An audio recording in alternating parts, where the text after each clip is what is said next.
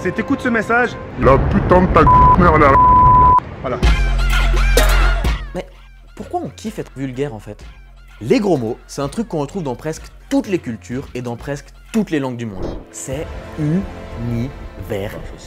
Même les chimpanzés utilisent des gros mots ou des gestes pour s'insulter quand ils ont envie de dire Connard, t'as volé ma banane Dans notre cerveau, la partie responsable des gros mots, elle n'est pas au même endroit que là où se trouve le reste de notre vocabulaire. On va chercher les mots courants dans l'hémisphère gauche, alors que les gros mots se trouvent plutôt dans l'hémisphère droite, au même endroit que nos émotions. Tout est lié C'est pas parce que ta mère t'a dit que les gros mots c'était le premier pas vers la délinquance et que vu qu'une fois t'as dit merde que tu vas finir dealer de drogue à la riponne. Elle a pas raison du tout ta mère Nique ta mère. En fait, dire merde c'est même bon pour la santé. Merde Une équipe de chercheurs et de chercheuses américaines ont trouvé que sortir un truc bien sale quand on ressent une douleur physique ou émotionnelle, ça sert à détourner l'attention de notre cerveau. Du coup, ça diminue la douleur. Traiter Baptiste de connard parce qu'il t'a quitté, ah, ça sert à rien, mais ça fait du bien. Le choix des mots est aussi vachement important. En fait, les gros mots sont fortement liés aux tabous sociaux qui sont quasiment nichés dans nos inconscients Je vais. Je vais te briser tes os, je vais te boire ton sang. et changent en fonction de nos cultures. Au Québec, par exemple, on blague pas avec la religion. Du coup, tous les gros mots parlent de ça. Le fameux tabernacle. Bah en fait, c'est ça.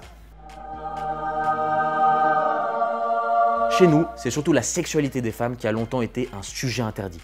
Du coup, les insultes sont très souvent sexistes. Genre euh, pute, euh, putain, euh, fils de pute, salope, poil à fri- Ok, euh, peut-être pas celle-là. Même le mot con, à la base, c'est un synonyme de vagin. Eh ouais. Vu que les gros mots sont liés à la société, ils changent avec elle.